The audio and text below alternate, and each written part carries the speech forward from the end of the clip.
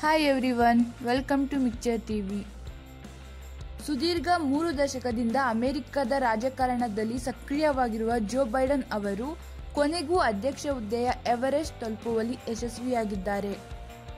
ಅಮೆರಿಕದ ನಲವತ್ತಾರನೇ ಅಧ್ಯಕ್ಷರಾಗಿ ಆಯ್ಕೆಯಾಗಿರುವ ಡೆಮೊಕ್ರೆಟಿಕ್ ಪಕ್ಷದ ಅಭ್ಯರ್ಥಿ ಜೋ ಬೈಡನ್ ಅವರು ಡೊನಾಲ್ಡ್ ಟ್ರಂಪ್ ವಿರುದ್ಧ ಗೆಲುವನ್ನು ಸಾಧಿಸಿದ್ದಾರೆ.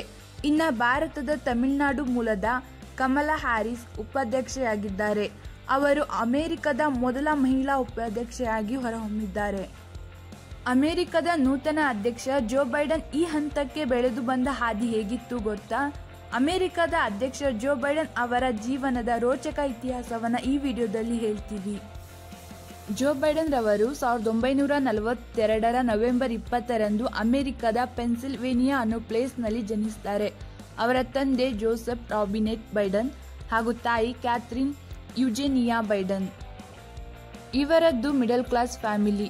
ಇನ್ನು ಓದಿನ ವಿಚಾರಕ್ಕೆ ಬಂದರೆ ಇವರು ಲಾಸ್ಟ್ನಿಂದ ಫಸ್ಟ್ ಇರ್ತಿದ್ರು. ಇವರಿಗೆ ಸ್ಪೋರ್ಟ್ಸ್ ಸಾರ್ವಜನಿಕ ಭಾಷಣದಲ್ಲಿ ತುಂಬ ಆಸಕ್ತಿ. ಮಾಸ್ ಕಾರ್ಡಿನಲ್ಲಿ ಕಳಪೆ ಪ್ರದರ್ಶನ ಇರ್ತಿತ್ತು. ಫುಟ್ಬಾಲ್, ಬೇಸ್ಬಾಲ್ ಅಂದರೆ ಇವರಿಗೆ ತುಂಬ ಇಷ್ಟ. ಇವರು ಸಾವಿರದ ಒಂಬೈನೂರ ಅರವತ್ತೈದರಲ್ಲಿ ಡಿಲಾವಾರಿ ಯೂನಿವರ್ಸಿಟಿಯಲ್ಲಿ ಡಿಗ್ರಿ ಪಡೆದುಕೊಳ್ತಾರೆ.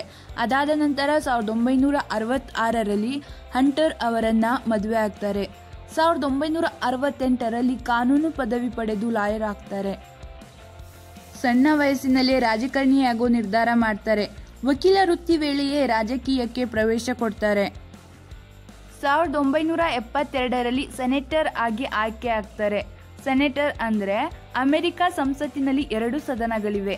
ಕೆಳಮನೆಯನ್ನ ಹೌಸ್ ಆಫ್ ರಿಪ್ರೆಸೆಂಟೇಟಿವ್ ಅಂತ ಹೇಳ್ತಾರೆ. ಹಾಗೆಯೇ ಮೇಲ್ಮನೆಯನ್ನ ಸೆನೆಟ್ ಅಂತ ಕರೀತಾರೆ. ಇವರು ಅಮೆರಿಕದ ಫಿಫ್ತ್ ಯಂಗೆಸ್ಟ್ ಸೆನೆಟರ್ ಆಗಿ ಆಯ್ಕೆ ಆಗ್ತಾರೆ. ಇವರು ಸೆನೆಟರ್ ಆದ ಕೆಲವು ವಾರಗಳಲ್ಲಿಯೇ ಒಂದು ಅಪಘಾತದಲ್ಲಿ ಇವರ ಹೆಂಡತಿ ಮತ್ತು ಒಂದೂವರೆ ವರ್ಷದ ಮಗಳು ಸಾವನ್ನಪ್ಪುತ್ತಾರೆ. ಇನ್ನು ಎರಡು ಗಂಡು ಮಕ್ಕಳಿಗೆ ಗಂಭೀರ ಗಾಯವಾಗುತ್ತದೆ. ಅವರ ಇಬ್ಬರು ಮಕ್ಕಳನ್ನ ನೋಡುವ ಸಲುವಾಗಿ ಅವರು ಸೆನೆಟರ್ ಹುದ್ದೆಗೆ ರಾಜೀನಾಮೆ ಕೊಡಲು ನಿರ್ಧಾರ ಮಾಡುತ್ತಾರೆ. ಆಗ ಅವರ ಸಹ ಉದ್ಯೋಗಿಗಳು ಮನವೊಲಿಸಿ ಆ ಹುದ್ದೆಯಲ್ಲೇ ಇರುವಂತೆ ಮಾಡುತ್ತಾರೆ. ಸಾವಿರದ ಒಂಬೈನೂರ ಎಪ್ಪತ್ತೇಳರಲ್ಲಿ ಜಿಲ್ ಎಂಬುವರ ಜೊತೆ ಇವರ ಮದುವೆಯಾಗುತ್ತೆ ಸಾವಿರದ ಒಂಬೈನೂರ ಎಂಬತ್ತೇಳರಲ್ಲೇ ಅಧ್ಯಕ್ಷ ಸ್ಥಾನದ ರೇಸ್ಗೆ ಇಳಿದ್ದು ಅಚ್ಚರಿ ಮೂಡಿಸಿದ್ದರು. ಸಾವಿರದ ಒಂಬೈನೂರ ಎಪ್ಪತ್ತೇಳರಿಂದ ಸಾವಿರದ ಒಂಬೈನೂರ ತೊಂಬತ್ತೈದರವರೆಗೆ ನ್ಯಾಯಾಂಗ ಸಮಿತಿಯ ಮುಖ್ಯಸ್ಥರಾಗಿ ಸೇವೆ ಸಲ್ಲಿಸಿದ್ದರು.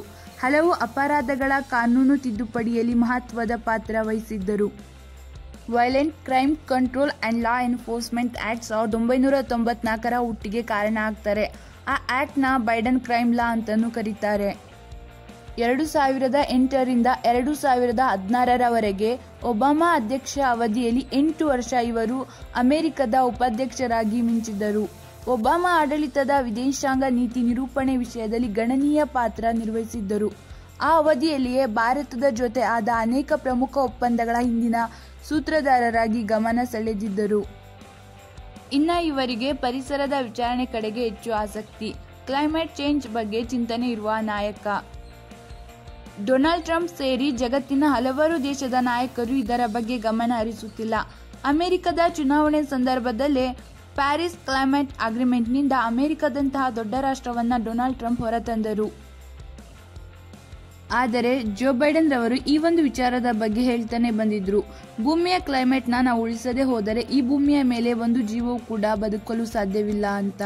ಆದರೆ ಅಮೆರಿಕದ ಚುನಾವಣೆ ಸಂದರ್ಭದಲ್ಲಿ ಅಮೆರಿಕದಂತಹ ಒಂದು ದೊಡ್ಡ ರಾಷ್ಟ್ರವನ್ನ ಪ್ಯಾರಿಸ್ ಕ್ಲೈಮೇಟ್ ಅಗ್ರಿಮೆಂಟ್ನಿಂದ ಡೊನಾಲ್ಡ್ ಟ್ರಂಪ್ ಹೊರತಂದರು. ಅದಕ್ಕೆ ಅವರು ಕೊಟ್ಟಂತಹ ಕಾರಣ ಅಮೆರಿಕಕ್ಕೆ ಕಷ್ಟ ಆಗುತ್ತೆ, ಅಮೆರಿಕದ ಆರ್ಥಿಕತೆಗೆ ಪೆಟ್ಟು ಬೀಳುತ್ತೆ, ಅಮೆರಿಕದಲ್ಲಿ ಉದ್ಯೋಗಕ್ಕೆ ನಷ್ಟ ಆಗುತ್ತೆ.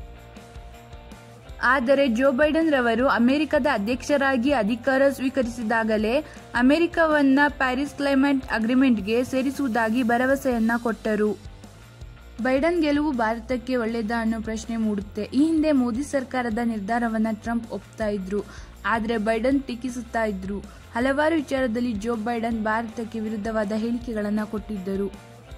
ಮೋದಿ ನೇತೃತ್ವದ ಭಾರತ ಸರ್ಕಾರ ಹಾಗೂ ಜೋ ಬೈಡನ್ ನೇತೃತ್ವದ ಅಮೆರಿಕದ ಸಂಬಂಧ ಹೇಗಿರುತ್ತೆ ಅಂತ ಕಾದು ನೋಡಬೇಕಾಗಿದೆ.